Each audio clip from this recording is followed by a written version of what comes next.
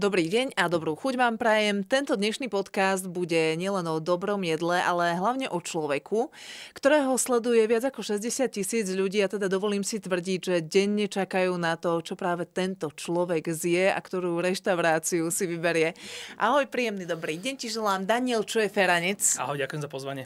Je to tak, ako som povedala, že 60 tisíc ľudí naozaj čaká na to, že čo ty zješ? 60 tisíc asi nie. A sú takí ľudia, ktorí, ktorí na to asi čakajú, respektíve, že v čase, keď proste to posnem, tak už potom hneď tam e, takí tí obvyklých prídu a, a niečo k tomu napíšu. A asi, asi je tam taká nejaká komunita, aspoň nejaká čiastočná. Je už pri tom tvojom dosahu to také, že už naozaj reštiky sa boja, aby si im nedal zlú recenziu? Ja práve, že nedávam zlé recenzie. Čiže ja to mám tak, že keď viem, keď, keď viem niečo pochváliť, že bude to že vyslovene fantastické, alebo je to aspoň nejakým spôsobom zaujímavé, tak o tom napíšem post a v tom poste buď napíšem, že je to skvelé, alebo aspoň teda napíšem, že to proste niečo na tom bolo, tak akože hodné opísania. A keď mi niekde nechutí, alebo keď niečo sa mi zdá len také, um, také akože obyčajné, alebo keď k niečomu akoby, že nemám pocit, že viem niečo povedať, tak, uh, tak to neposnem. A býva občas potom také, že takto mi napíše, že, že či mi teda nechutilo a že čo na tom bolo zle, keď sa, sa to neob... Lebo ve, ve, videli ma teda, že v tej reštaurácii a čakali potom na post a nedočkali sa, tak potom zistiu, že čo sa stalo. A to je od teba veľmi pekné a také až výchovné a oni potom ťa aj zavolajú, že a príď ešte raz, že bude to dobré, bude ja to sa, lepšie? Ja sa snažím okolo seba dávať von taký, takú ako keby auru, alebo teda taký odkaz, že že tie podniky ma nemajú až tak veľmi riešiť a nemajú mi písať a pozývať ma zadarmo a, a proste e, všetky tieto možné veci. Že ja to mám radšej tak, keď vlastne podniky vlastne nejak, nejakým spôsobom nereflektujú, ale že môžu, môžu jasne, že napísať po nejakým postom, že ďakujeme za návštevu, tak ako by to napísali hocikomu, kto ich oteguje. Ale som radšej, keď vlastne máme takýto vzťah, že vlastne potom aj tí ľudia ako keby že nevnímajú, že ja s tými podnikmi sa nejak kamarátim alebo že nejakým spôsobom uh, tam prebieha medzi nami nejaká komunikácia, z ktorej by uh, bolo cítiť, že nebodaj ma, som mal niečo zadarmo alebo po nejakej známosti som bol niekde. Ale predpokladám, že ťa pozývajú napriek tomu. Akože áno, pozývajú ma. Ja to beriem tak, že keď je nejaký nový podnik a úplne, no, akože to, to, to, to robia akože úplne bežne, ani sa im nečudujem, že mi napíšu, že sme tu, fungujeme a teda keď ťa to osloví, tak budeme veľmi radi za návštevu a ja si vždycky ako keby, že ich follownem a teda sa snažím nejakým spôsobom to nejako akože ne, neodsúvať a akože beriem to tak, že, že mám aj takú nejakú zodpovednosť, že teda keď, keď nebodaj by nejaký podnik bol dobrý a ja ho, ho budem ignorovať alebo proste do, neho nezavítam z nejakej lenivosti, takže to akoby, že nebude až také fajn. Ale tak v takéto miere je to super a stáva sa mi, že nejaký podnik, že do, v každom jednom poste ma oteguje, ale to už potom ja mám slepotu, už vidím, že, že to zasa urobili tak to rovno mážem, ale ani to nečítam, lebo mi to príde také, že na čo. Ale počuj, to už je také náročné. Ty už si normálne povedal, že to tak zodpovedne vnímaš, že normálne máš rešpekt pred tým, aby si nikoho neodignoroval, pritom to môže byť dobrý podnik. Mm. A teda bavíme sa stále len o tej Bratislave, alebo už sa posúvaš aj za hranice? Bavíme sa hlavne o Bratislave, aj keď uh, už sa mi ozývajú aj podniky z iných miest. A napríklad, keď e, v lete, ja neviem, mám storky o tom, že sa presúvam niekam, že idem napríklad, alebo že som na chalupe niekde na východnom Slovensku, tak mi napíšu proste, ja neviem, že stavím sa v, na obed v Banskej Bystrici, dám o tom post, tak mi potom napíšu ďalšie podniky z Banskej Bystrici, že tak keď pôjdeš cestou naspäť, tak aj, sme tu aj my. Akože je to fajn, že ja to nejakým spôsobom to akože nepreceňujem ani, ani nejak uh, nenadhodnocujem, že takéto, tak, takýto nejaký záujem, ale úplne rozumiem, uh, pohybujem sa v marketingu a, a akože je mi jasné, že že pre nejaký podnik, napríklad začínajúci, že niečo takéto, keď vlastne sa dostane na nejaký kanál, ktorý, ktorý sleduje veľa ľudí, tak akože, tak to je presne taký ten za mňa, že pekný marketing, taký ten neplatený, nevinútený, nedohodnutý, spontánny a akože úplne, úplne im rozumiem, že, že vlastne akoby, že chcú, akoby, že mať tento typ hypu. Keď niečo robíš zo srdca a dobre, ono ten úspech asi si ťa nájde. No áno, ale tak akože ja, stále som akože subjektívny, že, ja, že stále to je o tom, že, že určite existujú skvelé podniky po Slovensku, ktoré varia poctivo, robia to dobre, robia to s láskou, robia to perfektne. A napríklad ja neviem, že príliš robia príliš veľa kuracích prs alebo niečo proste majú takéto, čo ja akože objektívne mám v sebe len takú akoby, že preferenciu niečoho iného úplne v pôde priznávam, že veľa vecí, ktoré ja nejako preferujem, som v menšine v tom, ako to preferujem. Napríklad bôčik, alebo proste, že ja neviem, nejaké vnútornosti a podobné časti, ako keby, že zvieraťa napríklad čo sú také moje akoby, že uh, fajnšmekerské nejaké veci a uvedomujem si, že v tomto môžem, môžem byť v menšine, čiže netvárim sa, že, že som akoby, že nejaký že odborník objektívny na všetko, a len ako keby, že tak sa snažím to opisovať, že ako to mne chutilo a nejakým spôsobom už spolem na tých ľudí, že, že budú vedieť, že, že OK, že si sa niečo vychválil, ale že toto nie je úplne moja parketa, tak nebudem očakávať teraz, že ma to akože ohúri. Zás ten bôčik si povedia, zás tie vnútornosti. hey, no. Prosím ťa, ľudia sa ti potom aj ozývajú, že Daniel, ty si toto vychválil, mne to vôbec tak nechutilo, stáva sa ti to? Áno, a je to je, je skvelé, keď to tí ľudia akože urobia že rozumne a nie sú pritom nejakí akože podráždení alebo agresívni. Keď mám 60 tisíc ľudí na Instagrame, tak je málo pravdepodobné, že každý jeden, ktorý pôjde na nejaké jedlo, bude zdieľať so mnou tie moje uh, pocity. Tak máš rád bočík, takže nemôžete Áno. sa po všetkom zhodnúť. Áno, presne tak. Čiže akoby, že, že je veľké, veľmi malá pravdepodobnosť, že, že by som sa trafil úplne všetkým do vkusu. A zároveň, že, že ja som pre nich ten jeden alebo jeden z troch možno foodblogerov, na ktorých akože oni niekedy to môžu tak vnímať, proste, že to je akoby, že že boli nejakým spôsobom podvedení alebo oklamaní, ale tak snažím sa akoby, že potom im to vysvetľovať, respektíve aj v tých postoch verím, že to ľudia tak, tak, eh, tak chápu, že, že napríklad uh, to isté jedlo nemusí byť dva dní po sebe úplne rovnaké. Ja môžem mať kľudne šťastie na, nejakú, na nejakého iného kuchára alebo na nejakú inú zmenu. Uh, plus navyše ešte, keď vlastne mi to niekto napíše o nejakom podniku, kde ja som bol povedzme pred tromi mesiacmi a oni tam boli teraz a tam sa kopec veci proste mohlo, mohlo zmeniť a, a zhoršiť. Čiže je skvelé, že ja už mám s tou komunitou taký akože super vzťah, že mne tam ľudia až tak veľmi nenadávajú, respektíve nechodia mi tam proste nejaký primitívy do komentárov si tam akože uľavovať. A máme takú, akože takýto fajn, takúto fajn komunitu a s tým, že vlastne úplne v pohode, keď niekto napíše, že niečo mu nechutilo, napíše, že aj ideálne teda, že aj prečo, a dá tam proste nejaký iný typ e, feedbacku, tak za mňa to je akože len také, taká nadstavba toho, čo vlastne sa mi tam deje. Čiže už fungujete ako taký fajnšmekry na jedlá, ktorí si vzájomne posúvajú, choď sa pozrieť tam, vyskúšaj toto? Ja áno, lebo ja toto, toto mám ja e, takisto s nejakou mojou ako kebyže komunitou, že ja sledujem napríklad foodblogerov typu Food Destination, ktorý má oveľa menej followerov ako ja, ale napríklad je to človek, ktorý chodí po celom svete a jedáva v myšelenských reštauráciách, že kľudne ide do, ja neviem, do Dánska, do Kodane, e, do Nomy, kde si proste pol roka predtým stihne rezervovať miesto a proste zaplatí si to. A v tom, akože, v tom futblogerskom poňatí, že on je akože oveľa skúsenejší, oveľa akoby, že aj asi kompetentnejšie sa vyjadrovať nejakému jedlu a toho zase ja sledujem a zase od neho povedzme, ja napríklad si beriem typy na bratislavské podniky a, a kopec, často aj chodíme spolu na obed a takýmto spôsobom, akoby, že potom ja mám tiež taký ten úzky okruh, že veľa, väčšina ľudí je, je fajn, že objaví sa post, pozrú si ho, páči, nepáči, zaujíma, nezaujíma, idú ďalej a sú potom takí tí ľudia, ktorí to mnou tak prežívajú, že napríklad idú potom v mojich stopách, čiže sú také rôzne, ako keby, že odstupňované tie, tie stupne tej mojej komunity a taká tá najbližšia je presne takáto, že ako keby, že aj mi tak pravidelne napíše nejaký feedback, oteguje ma, zdieľa svoje veci v storkách a je to super, že to takýmto spôsobom tá scéna, ako to nazvať, žije. Ja si tak predstavujem, že keď takíto dvaja foodblogeri idú do nejaké reštaurácie a teda už vás poznajú, tak vieš si predstaviť, čo to musí pre tých ľudí byť. Ale zase o teba je pekné, že nedávaš negatívne recenzie uh-huh. a ten druhý foodbloger dáva? O, jeho zase nepoznajú, lebo nedáva, nedáva svoju tvár uh-huh. von. Um, no a je to také, že Mm, akože stane sa mi, že mne sa akože stalo párkrát že mi niekto vynadal napriek tomu, že proste, že som nenapísal, dokonca, že som napísal akoby, že post, ktorý bol v celku pozitívny, respektíve bol akože minimálne neutrálny. A som potom dostal vynadané, lebo ten dotyčný okolo, čo mal spoločne niečo s tým podnikom. Že mohol stať kvetnatejšie. Tak mal pocit, že niečo som v, v niekomu ukryvdil, alebo niečo proste som sa nesprával podľa ich predstav.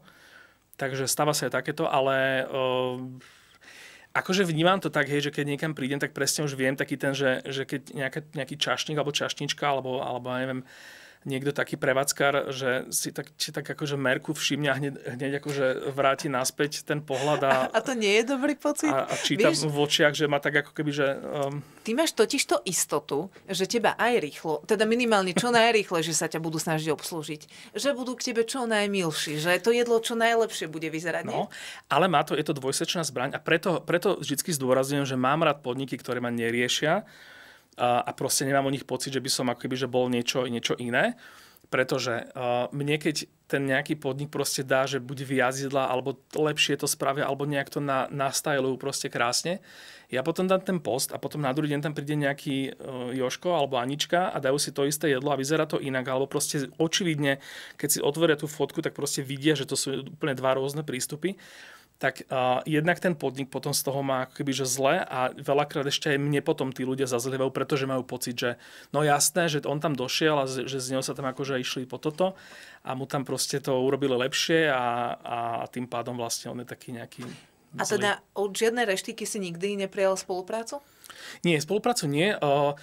Stáva sa mi, že napríklad, že, že tým, že už aj s niek- niektorými šéf-kuchármi, tým, že mám aj ja, ja svoj podcast a si ich tam volám ako hosti, potom si spolu píšeme, týkame si, tak stáva sa, že, že eh, ja neviem, že prídeme do nejakej reštaurácie, eh, kde si vlastne týkam so šéf-kuchárom a, a sme kamaráti a on potom akoby, že trvá na tom, že proste, že nechce, aby, aby som mu zaplatil. A vtedy ja už som sa na, naučil, že už sa nehandrekujem, že proste, že beriem to tak, že je to, je to akože aj, aj zo strany tej gastronómie je ten taký ten, akoby, že ten, tento nejaký pohostinný, e, priateľský, akoby, že Ber duch. takúto pohostinnosť. Ja to, robím, ja to robím ale tak, že, že normálne, že v hodnote tej, tej, e, tej večere potom pošlem nejakým rómskym detičkám alebo niekomu takému, akoby, že tie isté peniaze a tým pádom sme vlastne všetci, všetci spokojní a nikto, ja, ja, ja teda akože môžem s čistým svedomím dať von ten post e, bez toho, aby proste potom niekto napíše, že potom sa ma niekto spýta priamo v diskusii, či som si za to zaplatil a ja by som musel napísať, že nie a tým pádom by som vlastne akoby, že celá kredibilita a celá tá akoby, že úprimnosť a, a dôvera by tým pádom utrpela. A tak toto je veľmi pekné, že tak vyrovnávaš tej karmy na jednej na druhej strane. Ale akože ono to znie tak strašne gandiovsky, ale ako je to, že je to, je to v konečnom dôsledku je to strašne racionálne a, a až také akoby, že cynicky, akože pragmatické že mne to naozaj nestojí za to, že mne naozaj nestojí nejakých, ja neviem, 30, 40 alebo kľudne aj nejakých, že 80 eur za nejaký fine dining.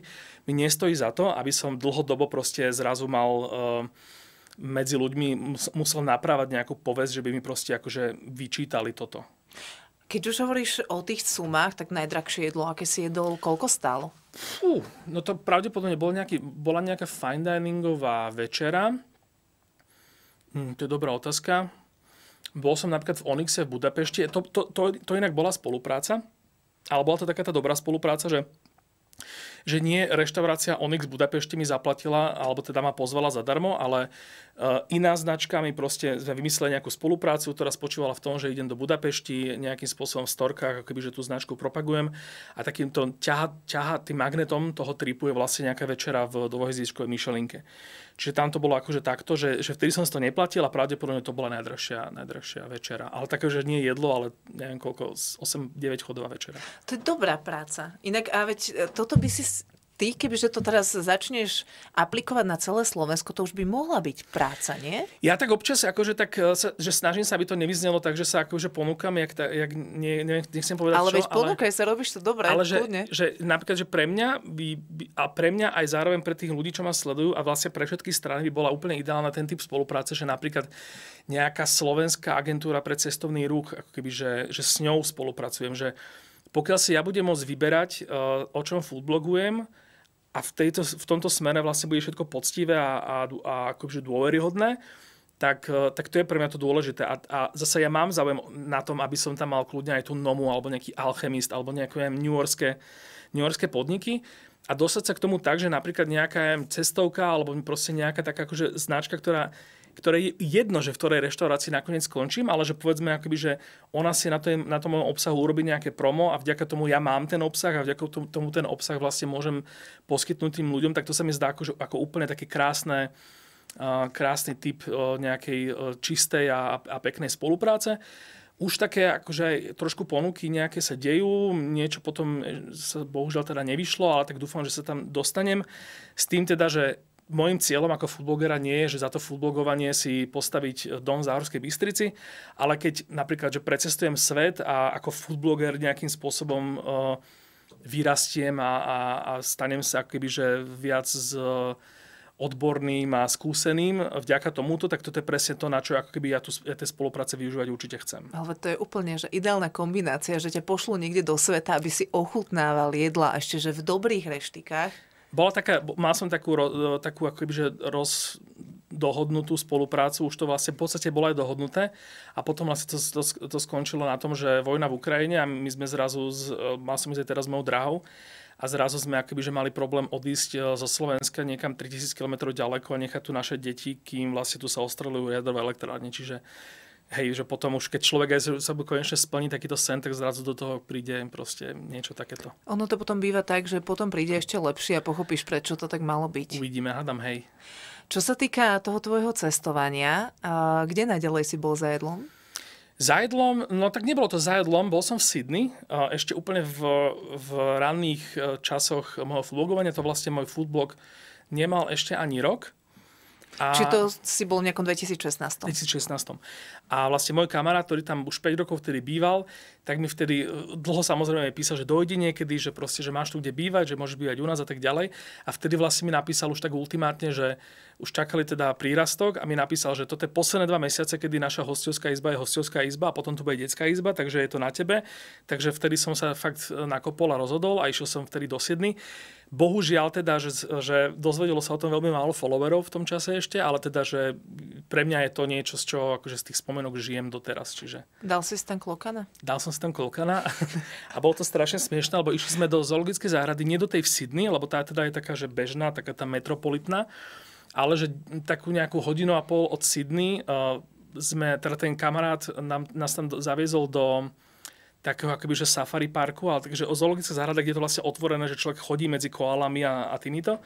Samozrejme, že nie medzi aligátormi, ale že takýmto spôsobom tam sú tie zvieratá poriešené.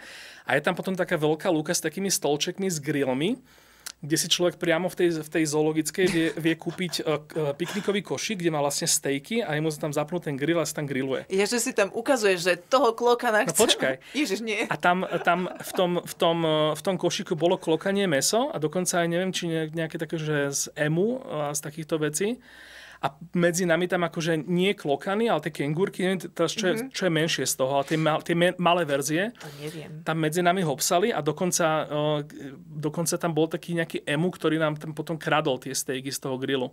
A pritom pred chvíľou sa kamaráčili niekde v tej zoologickej záhrade. To bol dosť veľký bizárik, no. To, bolo, to bol zážitok celkom. Hold, uh, taká je kuchyňa tamojšia. Vyskúšal si, inak chutilo? Ja akože ja milujem takéto veci. Ja, akože, ja si uvedomujem proste tie, to, tu, ten etický problém, že, že uh, jesť zviera, ktoré nejakým spôsobom ako ľudia k nemu máme nejaký bližší vzťah. A keďže ja napríklad e, milujem našu olinku, polojazvičíčku, tak tiež by som akoby, že mal problém si dať meso z obsa ale zase akoby, že úplne chápem ten, ten civilizačno-kultúrny e, rozmer, že vlastne akoby, že, že niekde inde na svete to môže byť normálnejšie ako u nás a pokiaľ sa niekto nespráva krútok zvieratám, tak akoby, že že viem pochopiť, že niekde to môže byť normálne také zviera jesť. Ja tak, e, tak nadnesene potom hovorím, že že sliepky nemôžu za to, že sú škaredé, ak nič, nič k necítime. No, takže tak, no. To máš pravdu a napríklad také zajace sa vo svete bežne nejedávajú. To je naozaj také, že slovensko-české, teda neviem, Áno. ako sú na tom okolité krajiny, ale nie je to úplne štandardné. A poďme k tomu tvojmu začiatku. Napriek tomu teda, že už pár minút a mali sme asi začiatkom začať, ale veľmi dobre sa mi kecalo. A 2015 rok bol naozaj, že nie úplne prelomový, mm-hmm. ale vtedy sa to celé začalo ty si si na Facebooku založil stránku, dával si tam pekné fotky a nejaké dobré texty, inak ty si copywriter, takže ty vieš dobre písať. Ďakujem. A očakával si od toho, že respektíve čo som si ja naštudoval o tebe, ty sa toho očakával, že e, pridaš nejaký post a budeš sledovať, kde pribudne viacej lajkov, ale nemalo to byť to, čo je z toho dnes. Áno, ja som vlastne vtedy už pol roka robil v reklamnej agentúre a vtedy akoby, že sa začali zmáhať tieto sociálne siete. A ja som vlastne v tej práci nejakým spôsobom s tými sociálnymi sieťami pracoval a, a začalo byť pre mňa výhodné sa v tom vyznať nie tým, že budem si niekde čítať o tom nejaké články, ale že um, si akoby, že založím nejakú stránku a budem na nej nejakým spôsobom pracovať s tými, s tými poučkami a s tými, s tými skúsenosťami. Takže hľadal som niečo, kde by som mohol akoby, že postovať a publikovať tak, aby mi, to, aby mi to zabralo čo najmenej času. A vlastne nebol som prvý foodblog, však bolo to vtedy už celkom bežné, však e, Foodtips Košice napríklad mal, mal ten, ten Facebook ešte predo mnou. tak som si vybral túto, túto akoby, že formu, keďže pracoval som v centre mesta viac menej, čiže mal som akoby, že na taký ten dokráčanie do 10 minút veľa podnikov a som si povedal, že dobre, tak teraz budem tak ako chodím každý deň rád chodím na iné miesta, tak proste budem chodiť naďalej a teraz skúsim o tom niečo napísať. S tým, že začiatky boli také fakt opatrné, že som tak popísal, že čo to bolo a koľko to stalo, že, že naozaj som, dlho mi trvalo, kým som sa cítil nejaký kompetentný, akoby, že to nejak rozoberať hlbšie. Ak som pochopila, viac si dával záležať na fotkách? No tak áno, ale um, a v podstate áno, tak bral som to tak, že vlastne teraz akoby, že sám zist, idem zistiť, že čo to akoby, že obnáša, čo, to, čo na to treba. A myslel som si, že to naozaj bude o nejaký, nejakej mikrokomunite pár sto ľudí. A s tým, že akoby potom to nejak to začalo rásť, tak potom som zrazu zistil, že spätne som zistil, že som, že som vo veľmi dobrom čase akoby, že urobil tento krok. Áno, lebo ty si postoval v tom čase aj na Instagram, mnohí o ňom vtedy ani len nechyrovali. Ty už si mal asi nejakého tušaka, že a budem to dávať aj tam. Nie, ale um, Vedel som o Instagram, mal som ho ako súkromný Instagram a zistil som na Instagrame, že tam vlastne sa dá postnúť, že najprv na Instagram a keď si človek za, za, uh, zaklikne proste jednu vec, tak to isté sa preklopí na Facebook. A mne sa to zdalo úžasne praktické. Takže som to robil aj napriek tomu, že, že na Facebooku som mal za chvíľku že 10 tisíc followerov a na Instagrame sotva 2000, tak som to stále takto robil. A potom vlastne, akýby, že opäť uh, sa teraz môžem tváriť, že som nejaký strašný vizionár, ale nebol, nebol som vizionár, proste zrazu to len celé dopadlo tak, že ten Instagram vyletel hore a Facebook vďaka tomu, že tam sa akože strašne skomerčne, ale zase začal akoby, že vypalovať tých ľudí tým, že čo si nezaplatíš, tak to nemáš ako dosah tak vlastne na tom Instagrame som zrazu vyletel oveľa viac a potom som akoby, že už bol, ten Instagram začal byť pre mňa. A to bolo ktorý rok? Lebo 2015 si to celé založil, začal si na tom pracovať, ale kedy to tak zaznamenalo taký ten, že veľký boom?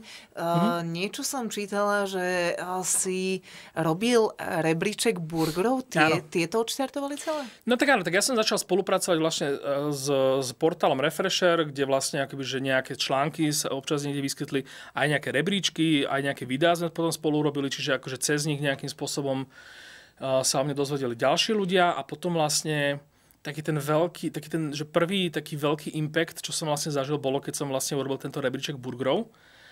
A vtedy to vlastne vyhral Burger Bar, ktorý, neviem, či, myslím si, že teraz už zmenil majiteľ, alebo minimálne znova akoby, že reštartol na Továrenskej. A vlastne vtedy to akože spôsobilo taký strašný, strašný boom, že prvýkrát vlastne o, nejaký podnik na druhý deň napísal okolo obeda, že si musí dať na dve hodiny pauzu, lebo musí zohnať rýchlo meso. Lebo ich vlastne ľudia akoby, že vykúpili. A potom že išli si ešte niekoľko týždňov vlastne taký ten, taký ten tento. A vlastne bez toho, aby som si ja vtedy e, mal na čom uvedomiť, že to takto medzi tým vyrástlo, tak som prvýkrát vlastne dostal takúto kopačku, že, že fakt to vyrástlo a že fakt tam je tento veľký nejaký... Ako si sa cítil?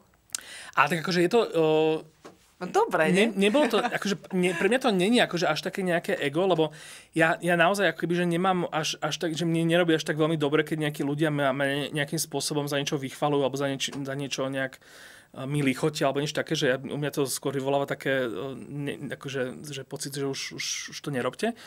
Ale akože bolo skvelé e, skôr akoby, že mať zrazu tak strašne blízko ten nejaký efekt a nejakým spôsobom ho spoznávať a a snažiť sa potom napodobniť aj možno aj v tých pracovných veciach, kde človek za to dostane peniaze, tak, eh, tak bolo to také, no, také Tak ono je fajn, že ty niečo robíš a že má to zmysel, že to má ešte aj takú tú spätnú reakciu, vieš, od ľudí. Ono je straš, akože strašne super, keď, keď napríklad, ja neviem, že nejaký podnik mi napíše, že že už sme išli skrachovať, lebo sme nevedeli, že ako to dáme a potom ty si došiel, napísal si post a zrazu proste, že my odtedy vlastne akoby, že že nie sme milionári a nič také, ale že zrazu proste to má zmysel, že proste, že zrazu máme presne to, čo sme chceli uh, robiť, keď sme vlastne ten, ten, ten podnik uh, zakladali. Čiže to, akože toto je skvelé, že toto asi neexistuje človek, ktorý by sa pri niečom takomto akože cítil nepríjemne, čiže toto je pre mňa akože veľmi také, také akože um, humble, no, takým tým sk- uh, skromným spôsobom uh, akože pekné.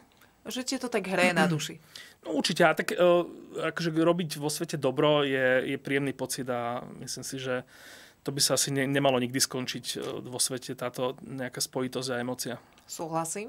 Ako sa ti takéto blogovanie, instagramovanie sklubuje s prácou? Je to zložité, jednoduché? Už máš 60 tisícový dosah, už sa snažíš dať do toho čo aj nejakú pravidelnosť. Už je to také, že viacej práca, alebo stále je to zábava?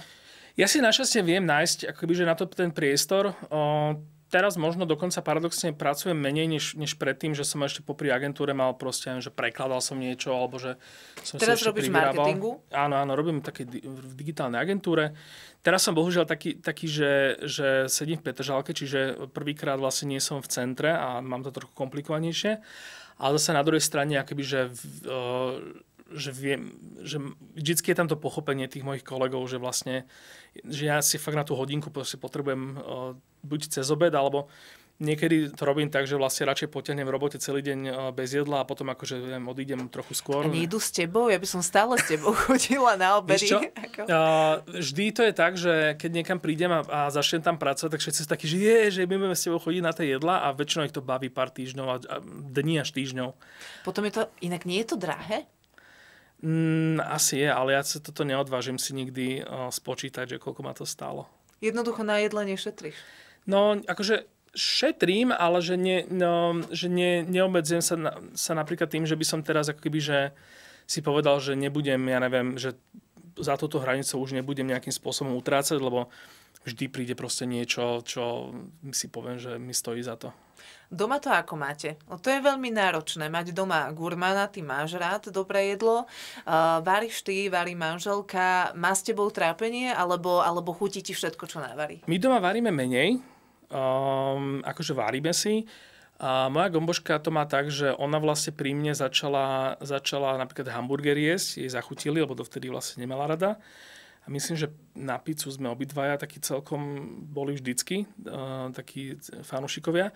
Ale ona je v podstate v tom, že tieto dve veci akoby, že striedame, že keď sme bez detí cez víkend, tak väčšinou to skončí jedným z týchto, jednou z týchto dvoch vecí.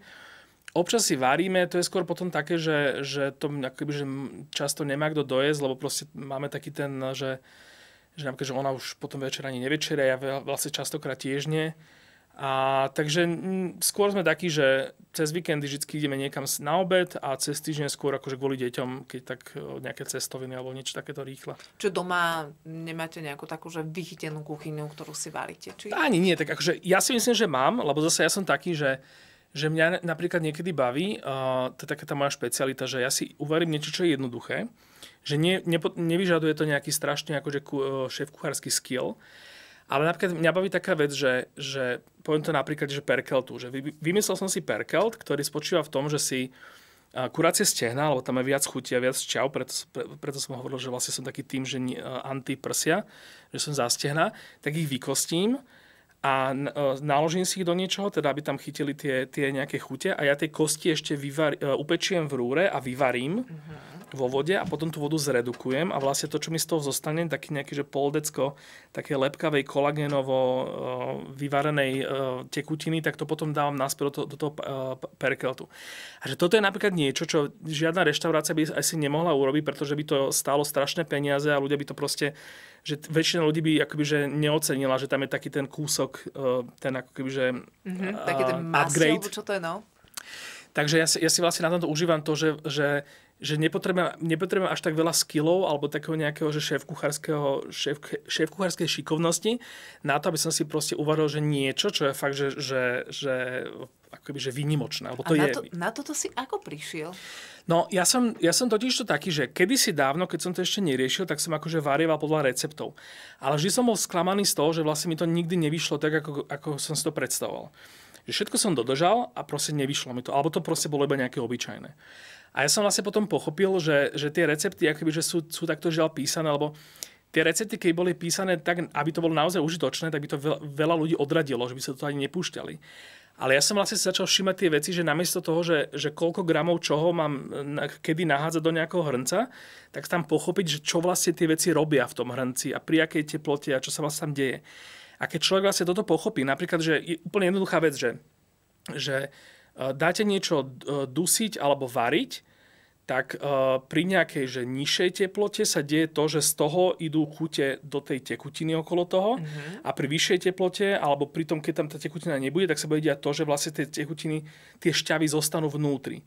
A, na, a napríklad potom, že taká tá voľba, že či chcete mať ja neviem, že nejakú omáčku plnú chutí, a nejaké meso, ktoré bude len také normálne, alebo že či vlastne vám, vám záleží na tom, aby tie, tie isté chute dostali v tom meso. Tie chute sa nerozmnožia. Mm-hmm. Tak, a že a takéto veci proste, keď človek potom pochopí, tak už potom nepotrebuje ísť pod nejak, podľa nejakého zoznamu, ale už vie si nejak vymyslieť, tak ako ja ten perokel napríklad, že, že OK, že tak to meso, ja chcem, aby tie chute zostali vnútri, ale zase na druhej strane, že ja nechcem nejakú fádnu šťavu v tom perokelte, ale proste mám tu kosti, ktoré by, ktoré by som vyhodil a ktorých tá, tie chute sú tak, tak poďme ich dostať do tej šťavy a zároveň akoby, že mať najlepšie z oboch svetov. Uvedomila som si, že nie som dobrá kuchárka.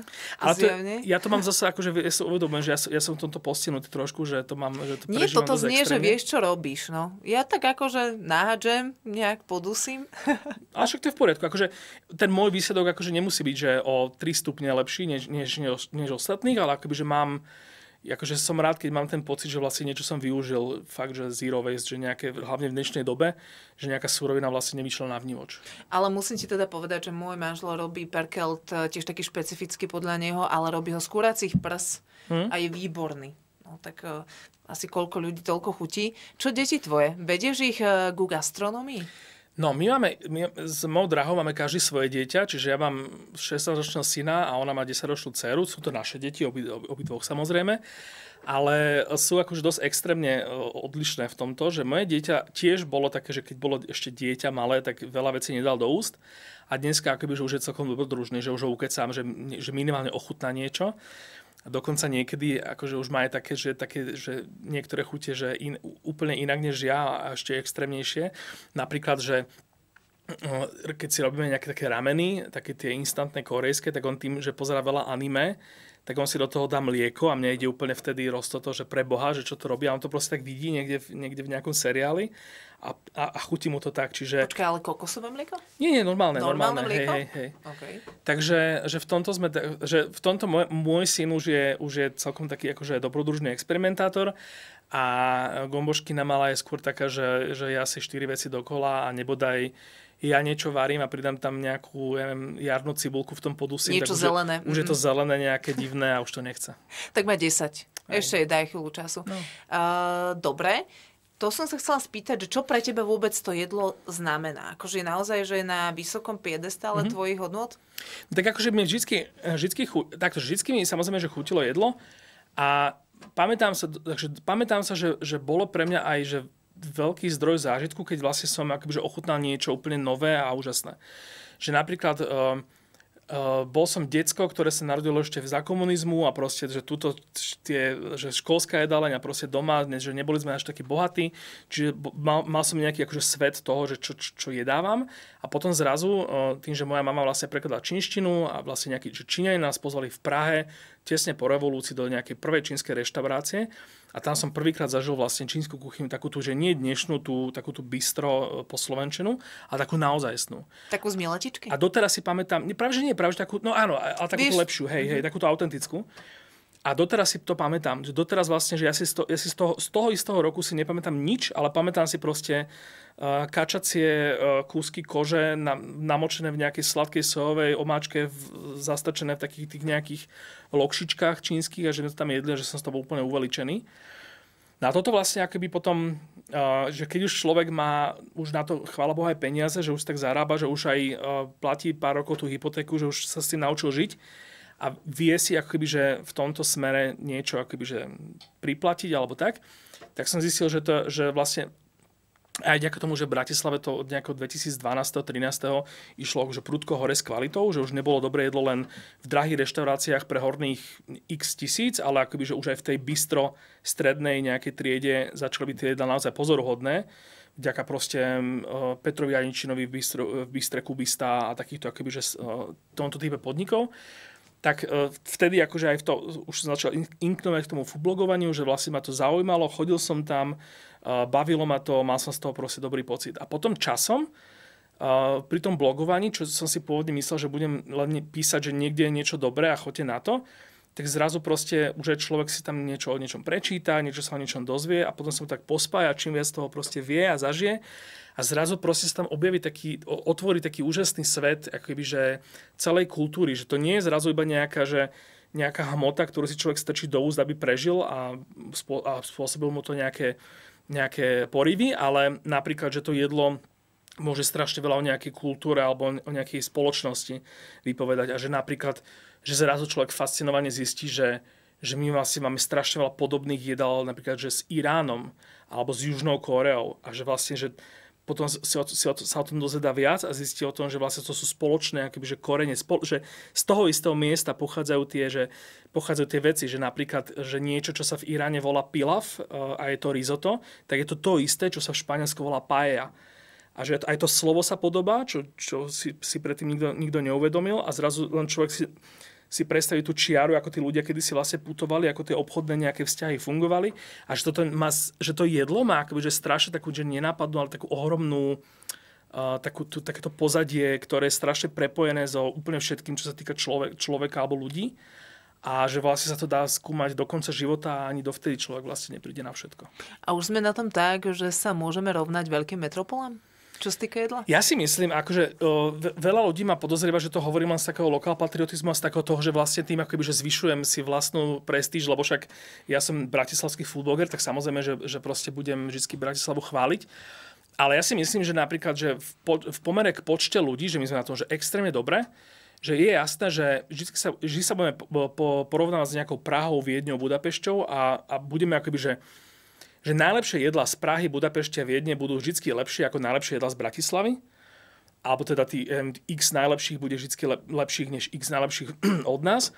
Ale napríklad, keď si to vezmem také, že, že na počet obyvateľov, na takú tú akože strednú nejakú vlnu, alebo teda tú vrstvu tých podnikov, podľa mňa v hamburgeroch napríklad sme, sme určite nad Viedňou a určite nad Budapešťou, mm-hmm. že možno Praha je ešte akože v tomto lepšia, ale tým, že vlastne u nás tie hamburgery začali, že tie hamburgery vlastne veľa pochytili v, tom, v, tom, v tej ére toho zlepšovania gastronomie, tak na ne sa sústredili tie podniky a že akoby, že, že tým, že sa zlepšovali hamburgery, tak to bolo akoby, že to, to, ten odraz toho, ako sa zlepšuje celá gastronomia, celá tá bistro scéna. A vďaka tomu my vlastne teraz máme v Bratislave, že že vlastne 4 hamburgery, ktoré hoci kde, v hociakej metropole by som kľudne strčil do ruky eh, burgerovému, burgerovému nadšencovi, s tým, že by som si naozaj veril tomu, že, že, že ich akože uh, neskritizuje že sú fakt akože úžasné. Ja teraz akorát rozmýšľam, že nakoľko môžeme menovať. A menuj, keď takto vystrihnu. No, viete, ja no, tak kam sa môžeme ísť dobre nájsť? No však akože eh, burgery sú tu, sú tu stálice Roxford, Queensboro, meso od Romana. Uh, ja mám ešte veľkú srdcovku Airstream Guy z Pezinka, a teraz uh, chystám sa druhýkrát, bol som zatiaľ iba raz a bol som z toho veľmi uveličený, ale chystám sa na Neon Burger pri Bajkalskej, teda na Bajkalskej pri Bile. Um, no a akože sú také, že napríklad konečne máme, uh, konečne máme že fantastickú fine reštauráciu v Bratislave, Irin, Lukáša Heska pod uh, domom Sv. Martina. Konečne máme vlastne takéto, taký ten pražský typ bystra, lomeno reštaurácie, kde vlastne lokálne jedlo až dokonca miestami až národné jedlo, lebo tam robia aj vypražený sier napríklad, robia na, na fantastickej vysokej úrovni, teda v bistronomii e, na Einsteinovej. A akože takéto príklady, napríklad meso od Romana je akoby, že, že fakt, že tak extrémne vysoký level takéhoto remeselno-mesiarského nejakého podniku, ktorý sa dá naozaj, že minimálne v Európe, podľa mňa by vedel byť kľudne v Prahe, v Viedni, Bratisla- e, v Budapešti, akoby, že stále na vysokej úrovni, že stále akoby, že by, patril medzi to najlepšie v danom meste. A takto by sme možno vedeli, vedeli pokračovať. Pice napríklad, e, Stupovská dvojica Galeona a Mario a Nikola sú, sú akože podľa mňa, že, porovna- že keď chodím po svete, nebol som v Neapoli, bol som v Taliansku, nebol som v Neapoli, keď chodím po svete a jedávam pice, tak uh, nikde akoby, že som, nemám dojem, že vlastne zaostávajú tieto, tieto naše najlepšie. Ja mám pocit, teraz ma zabijú všetci Taliani, ale mne tá slovenská viacej chutí, tá pizza. Je to, je, to, je to akože kľudne možné, lebo však pizza, akoby, že to, to, my, akoby, že my, my máme že my už máme tak dlhú históriu pice na Slovensku, že, že, že ja si napríklad kľudne poviem, že, že je to naše národné jedlo. Lebo keď chodím eh, na roadtripy na roadtripy po Slovensku, tak vo viacerých mestách nájdem pizzeriu než uh, brinzové halušky. Uh, tak napríklad, ja neviem, ideme do Trstenej a keď prechádzame všetkými tými oravskými dedinami, tak Všade okrem pizzeria. salašov, tak vidíš, salaš ponúkame aj pizzu áno, napríklad. Áno. Vieš, takže... A je to preto, že vlastne na tom, že tá pizza je, je také, že relatívne jednoduché jedlo, na, ktoré, na ktorom je byť vysoká marža, a, a dá sa akože urobiť, že, dá, že bez toho, človek bol nejaký, že ak dobre upečie to cesto, tak tá pizza akoby, že, že vie urobiť minimálne akože vyhovujúco a ľudia sa na to navykli a podľa mňa na tom nie je nič zlé, že proste, že keď si to tak vezmeme, tak že, že veľa takých tých našich tradičných jedál sú tu že 100 rokov alebo 120 rokov, že to nie sú akoby, že stáročia, e, staré jedlá ako brinzové halušky napríklad. A podľa mňa, že to, že to len, že my si nepamätáme v našich životoch, že, že, že kedy sem prišli, my máme potom pocit, že to boli vždy. Ale proste oni nejakým spôsobom, v nejakom kontexte akoby, že začali tu byť zaužívané a presne v rovnakom kontexte uh, sa tu niečo mohlo udiať aj pred 30 rokmi a dnes to kľudne môže byť uh, naše národné jedlo ako vypražaný sír, ako pizza alebo ja neviem, ako kľudne aj kebab. A je napríklad skvelé, keď v nejakej krajine akoby, že to jedlo uh, pochytí nejaký lokálny kontext a nejaký, že niečím ho akoby obohatíme a vtedy, to, o, o to je to krajšie vlastne, lebo že dojde potom niekto a povie, že toto není kebab, lebo proste kebab má toto. A na druhej strane, že už to bude také naše, že vlastne my kľudne si môžeme založiť akože vlastný, vlastnú tradíciu na tomto. A poviem to napríklad, pardon, toho, že, že viedenský rezen napríklad mm-hmm. človeka akože extrémne šokuje, keď príde do Milana a zistí, že viedenský rezen je vlastne milánske jedlo, kotoleta milanéze, ktoré vlastne sa dostalo do Viedne nejako historicky a takto proste fungujú tie jedlá. Čiže akože my ne, zbytočne budeme akoby sa hádzať o zem, že, že nerobme z niečoho národné jedlo, keď vlastne to sem prinieslo neviem kto, Albánci, Turci alebo neviem kto. Keď vlastne brinzové halušky máme vďaka e, zemiakom z Ameriky a, a brinzi z Rumunska. Čiže ja si myslím, že toto akoby, že len stačí pochopiť a pri tých azijských jedlách neviem, či sme to až neprestrelili s tým so slovenštením, pretože tam už mám pocit, keď som napríklad ochutnala to jedno jedlo na Miletičovej, tak som si povedala, že ej, toto sme, škoda, že už nejedli dávno, že sme si to až tak príliš zoslovenštili. Hej, tá naša Čína poslovenčená je, je, aj za mňa je to akože je škoda. A teraz, teraz je taká akoby, že druhá vlna takých bratislavských podnikov, kde vlastne, že dostaneš misku, kde bude rýža alebo rezance a na tom je nejaké meso. A pôsobí to akože veľmi azijsky, ale vlastne keď to dáš Azičanovi, tak on si na to chudák musí proste vykydnúť ešte pol kila omačky a korení, pretože to, je, to, je to akoby, že robené na slovenské chute, také veľmi mierne. Zase na druhej strane neviem, možno, akože, možno toto zo, už hovorí zo mňa iba nejaký akože frfloš uh, starý a zase nejak, niekto, kto má teraz 20 rokov, tak o 20-30 rokov vlastne, že toto, z tohto sa stane nejaké naše špecifikum, že, že vlastne ľudia to sa budú chodiť vyhľadávať, lebo im to tu, tuto bude chutiť viacej než niekde, niekde v Ázii. Akože kľudne je to možné.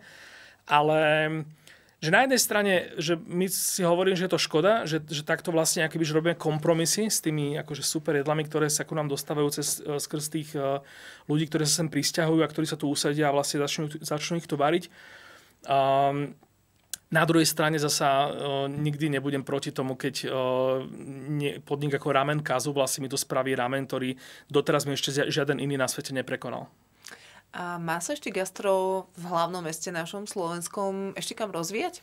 No ja si myslím, že áno. A my máme, my máme obrovskú výhodu v tom, že vlastne že môžeme chodiť buď do Viedne, kde síce e, nikomu nerozumieme, ale stále môžeme chodiť napríklad do Prahy a kľudne aj do Brna, kde vlastne, e, čo je vlastne akože naše, to, to je, to, my sme tam v podstate doma.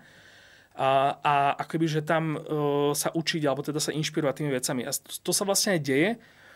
Teraz sme si sa trošku pozadu v tom, ako Praha vlastne už dávno nejakým spôsobom objala, adaptovala uh, tradičné české jedlo, začala robiť s takým tým novým nejakým novou, novou inšpiráciou a novou, novým driveom, bez toho, aby, aby ho nejakým spôsobom menila. A toto by som strašne chcel mať, chcel mať aj v Bratislave, aby sa to začalo tak vo, vo väčšom diať, že vlastne že nebudeme furt tak zaťažení iba na tie brinzové halušky, ktoré sú také, skôr také výkladné jedlo, než, než skutočne národné jedlo, že, že uh, každý, keď sa ho spýta, že čo je naše národné jedlo, povie, že brinzové halušky, ale keď sa ho spýta, že koľko ich jedol tento rok, oproti tomu, koľko jedol píc alebo vypražaných syrov, alebo tarhuoň s, s mesom, s omáčkou, tak, tak, tak prehrajú. Čiže e, nie len takéto tie naše, že, že jedla, ktoré sme kedysi s hrdou ukazovali svetu a, a, a akože na nich od nich odvíjali nejakú svoju identitu, ale kľudne aj tie jedlá, ktoré vlastne normálne bežne jeme a, a sa za ne proste prestaneme hambiť a, a dovolíme po, potom nejakým tým kuchárom, ktorí vlastne nám to chcú už teraz uh, začať ponúkať, tak na to začneme aj chodiť, zač- začneme akoby, že to nejakým spôsobom hrať s nimi túto hru, že, že tak dobre, tak granadír je síce akože úplne v podstate, že podradné jedlo, ale že tak urob mi ho a ja, ja ti dám tú šancu a prídem zajtra, zajtra na ten obed, eh, keď si ho urobil a proste zrazu zistíme, že, že vlastne, že tie jedla majú úžasný potenciál. Uh, ja som sa preto zasmiala, môj muž považuje granadier za prílohu a tiež by ho asi nazval podradným jedlom a ja ho pritom milujem. Je to príloha s prílohou, sú to cestoviny so, so zemiakmi a potom človek ide na sever Talianska, kde je jedna z lokálnych špecialít, síce je tam viac ingrediencií, ale spočíva to v tom, že že cestoviny a v tej omáčke, ktorá, ktorou sa polievajú, sú tiež zemiaky. Čiže akoby, že, že všetko má proste nejaké takéto... Dôležité, aby to kontexty. chutilo. Kde si inak ty na tvojej ceste objavovania gastronómie a gastroscény v Bratislave? Si niekde v polovici, v tri štvrťke? Nie si už na konci, že o chvíľočku pôjdeš zase od začiatku? Našťastie tá gastronómia sa vyvíja a častokrát rýchlejšie, než ja stíham nejakým spôsobom ju zachytávať alebo reflektovať alebo, alebo opisovať. Čiže také nejaká obava, že sa mi minú podniky na objavovanie a sa nikdy nenaplnila. A vždy je to aj tak, že aj tie samotné podniky, že to, že vznikli jedna vec, ale potom sa nejak vyvíjajú, nejakým spôsobom napredujú, niektoré viac, niektoré menej, niektoré vôbec a takto akoby, že sa tam stále mení a vyvíja. Čiže toto je, toto je za mňa úplne skvelé, že v tomto ja môžem fakt do nekonečna chodiť objavovať. Prichádzajú to aj také tie nejaké že nové jedlá, čo je super, že vlastne poké, za, za uplynulé dva roky nejakým spôsobom obohatilo mapu Bratislavy. Teraz som dúfal, že, že bude nasledovať korejské jedlo, ale žiaľ, ešte to, ešte to sa to až tak, až tak veľmi nerozbehlo. A rozmýšľam, že tuším, také hodogy som zaregistroval, teraz nie som si istá, či sú korejské, sa mi zdá, že niečo takéto mm, Hodogy neviem. A, môžem si to míliť. Hodogy napríklad e, nejakým záhadným spôsobom umreli v Bratislave, že kedysi sme tu mali niekoľko, dokonca už sme tu mali že sieť hodogov v nákupných centrách a potom zrazu sa potom, sa potom zláhla zem, že vlastne ľudia keby, že keďže museli tie hodogy stať nejaké peniaze, tak ľudia, ľuďom sa to zablokovalo, tá, že koľko sú ochotní zaplatiť za, za polotovar v, v pečive, v ich, mm-hmm. v ich akože ponímaní a teda v tom, čo, čo to akože objektívne je. Čiže nejakým spôsobom toto zasa nejak umrelo a čakáme tiež, tiež aj ja, že kedy sa to rozbehne. Banmi bagety napríklad, že uh, tí Vietnamci, ktorí vlastne u nás uh, robia také tie, že fakt, že tackarne s čo najlacnejším jedlom pre také tie, že fakt uh, široké masy hladných ľudí, tak už sú také, vďaka tý, tý, tý, tými proste super hviezdám z miletičky, tak už aj, už aj toto akoby, že začína byť také, že, že lepšie jedlo, že s dobrými súrovinami, súrovinami a fakt, že dobre pripravené.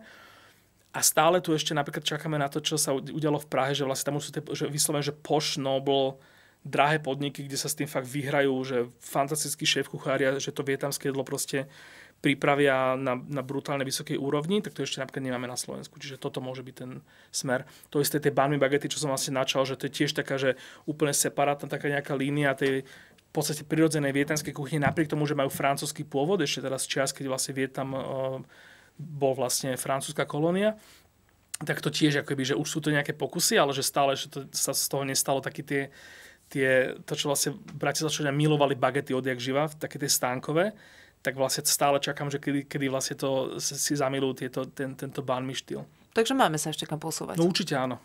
Máš také, že najobľúbenejšie jedlo? Um, mal, ja som bol dlho takýto, že hamburger, mám ho vytetovaný dokonca na ruke. A som z veľkej časti obrovský fanúšik ramenu, je to ďalší adept na krku u mňa. ale také teda naozaj z toho japonského ramenu. Um, asi, asi konkrétne jedlo možno nie. Možno, možno na mne skôr, akoby, že na tom obsahu vidno, že som taký, že skôr domias. A že mohol by som aj menej akoby, že to, toho, tých mesových vecí postovať a, a ja si to plne uvedomujem, ale nejakým spôsobom, akoby, že je to vo mne, tak e, tá obľúba sa tak, takto nejakým spôsobom odráža. Čiže ty si skôr, že slaný typ, sladké, nie? Sladké moc nie, akože um, Mm, snažím sa to teda ne, aj z nejakých akože dôvodov z, uh, praktických moc si na to nejak nezvykať, ale akoby, že nie, uh, nie som taký, že by som nejak úplne... Uh, mám dokonca pocit, že, že, tá, že tá oblasť tých, tých dezertov a tých pečiv, že to je vlastne taká úplne samostatná kategória, ktorej vlastne tiež treba rozumieť úplne iným spôsobom, že vlastne uh, už je ten spôsob prípravy, že vlastne človek pri tom pečení musí dodržať fakt, že mikroskopicky presné nejaké dávky, aby sa niečo podarilo chemicky v tom, v tom nejakom procese, kdežto tá slaná kuchyňa je, môže byť kľudne taká, že pankáčska, že vlastne tam človek môže házať hlava, nehlava veci a skúšať a, a veľakrát proste mu to vidia aj tak. Čiže v tom sladkom sa necítim byť až tak doma a, a možno ani tak nechcem byť úplne na to až taký navyknutý, lebo to potom nemá dobré účinky. Riešiš hmotnosť? No tak akože jasné, že, že tak cvičím, bajkujem a tak, mám lepšie obdobie, horšie obdobie, ale tak... Či musíš si to vykompenzovať? Dobré jedlo, no, chcem si to vykom... Akože áno, že, že akože, možno to na, na mne menej vidno, než, než v skutočnosti, akoby, že napríklad, že e, sa tomu bajku venujem v lete a, a nejakú, nejakému proste crossfitu. A nie som človek, ktorý by si teraz bazeroval na tom, že proste, že teraz, e, ja neviem, že musím na tom Instagrame začať dávať fotky, z ktorých budú odpadávať ľudia. Seba teda, čiže toto, tento, to, túto motiváciu nemám, ale tak akože jasne, že človek sa rád cíti dobre, čiže... Viete niečo naštvať na jedlo? Áno, o, vie ma naštvať, keď niekto keď nejaký podnik strašne rieši milión iných vecí okrem samotného jedla, že vlastne príde niekto s nejakým konceptom, kde je ja neviem, taký interiér, taká úžasná technika niečom použitá, také niečo, že objednávanie cez zapky a, a, a neviem čo a marketing všade a billboardy a toto. A vlastne tam potom človek príde a vlastne to jedlo vlastne cíti, že to je posledné, že čo sa, čomu sa tam ľudia eh, nejakým spôsobom nad tým tak premýšľajú a venujú sa tomu. Tak nie, že by ma to akože štvalo, ale, ale skôr ako si tak hovorím, že prečo, že prípadne ešte také, že keď, keď že sú podniky, kde vlastne človek cíti, že, že prvoradým tým záujmom toho podniku je proste, že zarobiť že veľa peňazí. Že nie, že, že prežiť a fungovať a mať nastavený nejaký že úplne prirodzený biznis model, čo je, čo je samozrejme vec pri, pri každom podniku. A teda, že by som sa čudoval, keby niekto nerieši to, že, že, že na tom proste chce nejakým spôsobom zarobiť a žiť z toho ale že sú také podniky, kde má človek pocit, že chcú zarobiť proste, že strašne veľa a vlastne to, že to jedlo sa snaží len tak nejakým spôsobom ošmeknúť, aby im to bolo umožnené, aby, aby teda im tam niekto došiel a nejak, nejako bol trochu spokojný a fungovali tak, ale po, proste, že oš, ošidia všetko, čo sa dá. V tomto to máme rovnaké, toto vadí veľmi aj mne.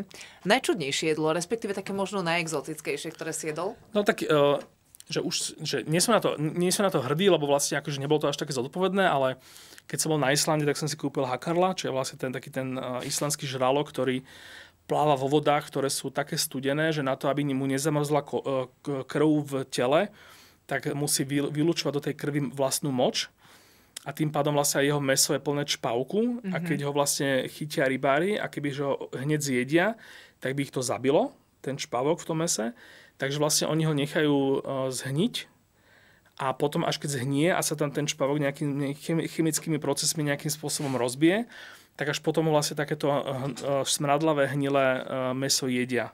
A toto bolo aké, prosím? A je to lokálna špecialita. Ja som si to kúpil vlastne za, vákovo zabalené a donesol, donesol som to až na Slovensko, aby som teda nejakým kamarátom tento pôžitok sprostredkoval. Bolo to príšerné.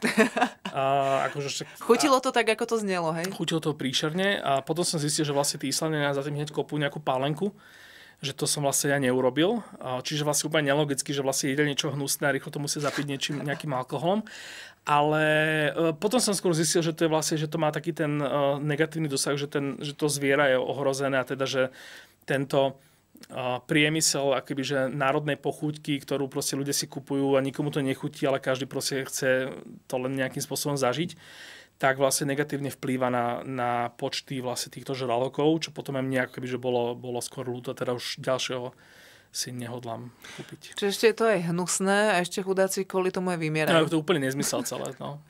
Ešte mi povedz, že čo ty a fast food? Máš rád, že občas si dáte taký, taký, že ten typický fast food na počkanie pri okienku si objednať? No jasné, akože ja v tomto hlavne nie som nejaký, že, že by som sa teraz nejak tak snobsky tváril, že proste všetko jedlo potrebuje byť od poctivého farmára a neviem aké proste bez škodlivín a, a podobne. Čiže tak, ako mám rád proste, že údeniny, ktoré sú akoby, že objektívne e, zdraviu neúplne, neúplne super teda na zdravotný stav, tak e, aj ten fast food proste má nejaké svoje čaro, že, že podľa mňa, že, že keď, keď si človek vlastne to vníma tak, to jedlo nie je len nejaká taká, že izolovaná vec, že ktorú proste, že si treba vždy len vypiplať v čo najlepšej kvalite a nejak tak akože bez nejakého kontextu len nejakým spôsobom ním stimulovať nejaké, nejaké v, v zmysly, tak kultúrne a to spoločensky, to, čo som vlastne, sme sa o, to, o tom už rozprávali, tak ten fast food má proste nejakým spôsobom to miesto v tomto A sú napríklad ľudia, ktorí proste, že pre ktorých to je vlastne je to jediné jedlo, ktoré, že keď idú von, tak si ho môžu dať. Čiže ja sa akože samozrejme, že aj mi, aj mi to chutí, neby som to nejedol, ale že, že aj, aj vďaka takémuto, takémuto proste bežnému uh, spoločenskému kontextu nemám dôvod proste nejakým spôsobom sa k tomu správať ako k niečomu nepriateľnému. Ja od jedného nemenovaného reťazca teda milujem uh, hranolky a mám pocit, že drogami to posypajú. Oni neskutočne chutia. MSG? je to tak, no. No, akože je to také, že čo je sranda, že vlastne my, my ešte na to tak, že my to vnímame ako takú, že nadávku. A v azijskom jedle je to úplne bežné a každý, kto chodí do, do čínskej alebo vietnamskej reštaurácie, tak proste jedáva MSG. A to MSG, MSG ten glutamán sodný je vlastne, má veľký, veľkú časť na tom, že, že nám to tak chutí a že tam znova chceme ísť, lebo je to svojím spôsobom návykové, ale to je aj cukor. Čiže vlastne akoby, že my sme len takí, ako keď proste ľudia pindajú na marihuanu, že to je droga, ale proste pijú nie že alkohol, ale proste ochutený liek nejaký lacný, že proste také tie nejaké fejkové borovičky a, a hrušky Albo a um. slivky, um. ktoré sa vlastne ne, nemôžu volať slivovica, tak vlastne títo ľudia potom sa cítia morálne, morálne akoby, že v OK uh, tu bojovať proti nejakej marihuane, ktorá je zdravšia možno a, a prirodzenejšia pre, pre telo než, než toto. Čiže je toto akoby, že je to opäť taká nejaká kultúrna časť toho, toho celého. Kedy najradšej ješ? Raňajky, obed, večera? No, ja sa večere snažím, uh, snažím vynechávať a boli teda obdobia, kedy som v tom bol dôslednejší, aj, aj to teda bolo, ja som sa tak uh, cítil lepšie vďaka tomu. Niekedy aj kvôli robote proste, že na človeku tak potom vidno, že keď, ja neviem, o 6. 7. večer sa všetko skončí a vtedy vlastne si spomenie, že vlastne hladný a potom to takedy akože dopadne zle, že človek otvorí chladničku a má pocit, že vlastne že všetko odtiaľ potrebuje. Ale pre mňa sú tie obedy najlepšie už, aj, už len kvôli tomu, že ako foodbloger mám vtedy najlepšie svetlo na, na fotenie a točenie videa, čiže, čiže akože proste, že jesť za, za bieleho dňa a potom vlastne večer, že radšej, radšej akoby, že sa už potom úskomne, nech potom človek, človeku sa lepšie spí, tak asi ten obed je za mňa. Hovorí sa, že večeru máš dať nepriateľovi. No, OK, kľudne. Blížia sa Vianoce. Mm-hmm. Aké budú tie tvoje Vianoce z pohľadu jedla? No my teraz vlastne už niekoľko rokov sme nabili na taký systém, že chodíme k svokrovcom o, na štedrú večeru. Čiže vlastne u nás sa tým pádom, chvála Bohu, nevarí, lebo ja priznám sa, že ja nemám rád Vianoce až po ráno 25. decembra, že vtedy ja začnem mať rád Vianoce, lebo by strašne vadí to, jak tam všetko treba, všetko musí, treba urobiť toto, proste zhon, nakúpiť, upratať, e, napiec, navariť a toto, že, že mám taký občas pocit, že, že tie sviatky pokoja spočívajú v tom, že si pred nimi tesne akoby, že vyrobíme čo najviac stresu a potom ten stres končí a to sú tie naše sviatky pokoja. Asi tesne pred nervovým zrútením, ale nezrútiš sa, takže si to zvládol. Áno, áno. Čiže my, poďme, my budeme určite u Sokrovcov, kde sa, kde sa vlastne na rozdiel od toho, jak som ja bol zvyknutý celý život, že e, vypražený kapor a zemiakový šalát takého toho západného typu, čiže bez majonézy, e, taký ten e, rakúsky Slovenský štýl. alebo taký. No. Hej, hej. Tak teraz vlastne posledné roky jedávam kurací rezeň a zemiakový šalát. Mm-hmm. Ale akože nebazírujem ja na takýchto veciach, že, že, že treba dodržať presne do, do bodu, že skôr skôr sa tak sústredujem na to, že aby proste bol, nám bolo všetkým dobre a, a a nestresovali sme sa nad vecami a proste nemali z ničoho nejaké hemungy a, a vtedy to sú podľa mňa sviatky a nie vtedy, že podľa toho, že čo mám na tanieri. Jasné. A polievku napríklad ako mávate? No kapusnicu, aj keď teda rozmýšľam teda, či sa, ale myslím, že hej, e, e, kapusnica. U nás sa moja mama robila vždy fantastickú, ona tam totiž dávala z kapra všetko vlastne, čo sa ne, ne, ne, nešlo na vypraženie, čiže všetky plutvy, e, hlavu, ikry alebo mlieč a tak ďalej. Takže my sme mali takú kapusnicu, že vlastne bez, tých, bez takých tých mliečných vecí, že, bez, že čisto akoby, že e, nelaktózovú a tie kaprie nejaké drobky a sušené slivky. Mm-hmm. Že to bola naša kapusnica a teraz vlastne posledné roky už je to tak, že všeličo možné. No, a teraz sa pomaly ale isto blížime k záveru, ale ešte som si pre teba pripravila také, že musíš vybrať z dvoch možností. Okay. A keď ma to zaujíma, alebo nebudeme vedieť akože špecifikovať, že aká konkrétne tá možnosť je, tak mi budeš musieť povedať, že to jedlo, ako ti najviac chutí pripravené. Mm-hmm. Tak ideme na to. Ako toto prvé bude úplne že jednoznačné, mm-hmm. jednoduché. Hodok hamburger. Mm, hamburger? Aký? Um, č- nekomplikovaný. Čiže? Čiže um, nech to je proste dobrá brioška, taká akože taká poriadne taká šťavnatá, nevysušená. Hovedzie meso, či už rozpučené, alebo, alebo takéto proste medium v strede, to je v pohode.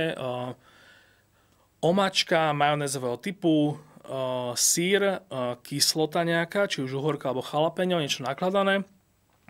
A obšenosť slanina vôbec nemusí byť a to je, to je, to je za mňa dokonalé, že už hoci čo je už, je už iba navyše. Mne už tak slinky tečú.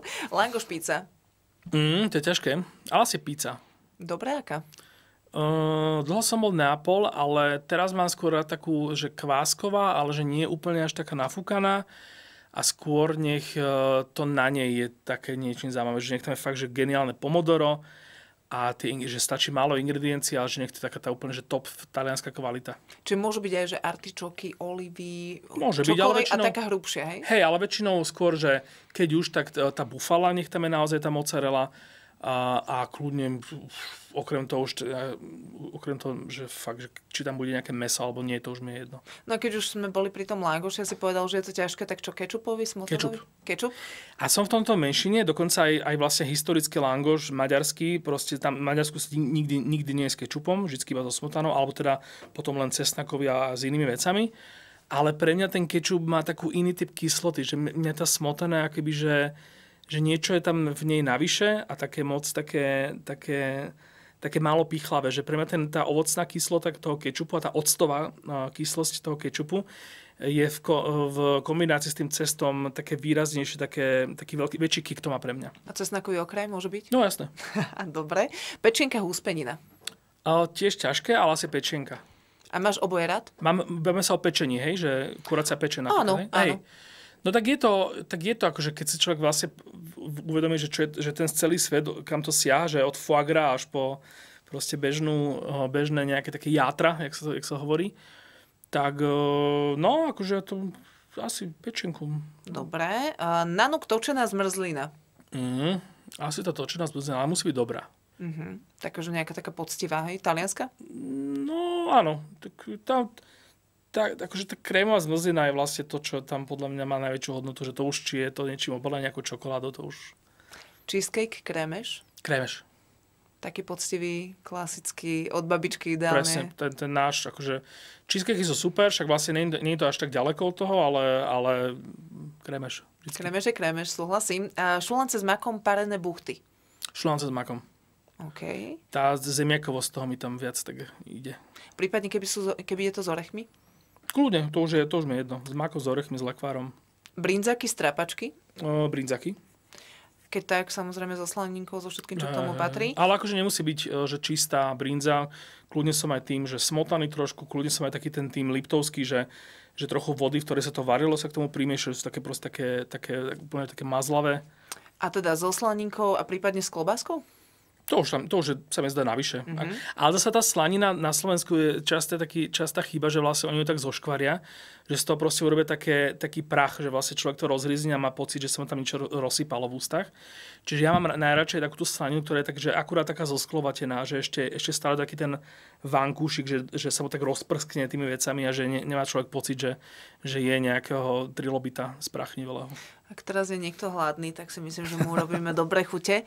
Posledná vec, čo radšej piješ, kávu alebo čaj?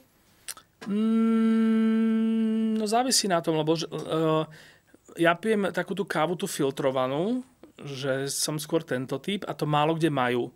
Takže väčšinou, keď po Slovensku sa snažím piť kávu, tak to skončí tak, že si radšej objednám čierny čaj. Ale keď je proste nie, uh, niekde fakt, že dobrá kaviareň, čo našli si teraz už že vo veľa miestach na Slovensku e, vznikajú, že dokonca, že vlevo, či už človek zažije specialty coffee alebo proste takýchto menších mestách, tak, e, tak vždycky radšej kávu. Tak uh, jednu sme mal aj u nás, chutila ti naša? To bola taká, to bola taká, ak v robote taká, človek pije také dobrá, espresso.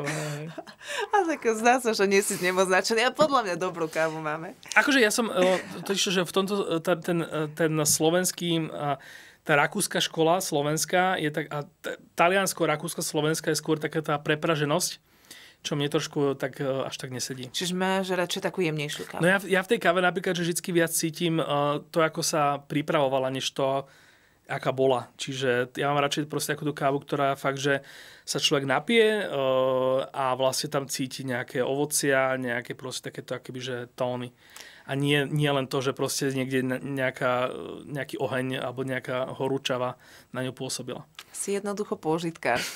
Každopádne veľmi pekne ti ďakujem, že si k nám prišiel, že si teda tú našu kávu vypil, takú tú priemernú. A budem ti želať veľa šťastia, aby sa ti naozaj dobre food blogovalo, aby, aby si ľuďom prinášal stále nové a nové inšpirácie, aby sme sa aj vďaka tebe dobre najedli. Daniel, čo je Feranec, bol našim dnešným hostom v podcaste 24. 4.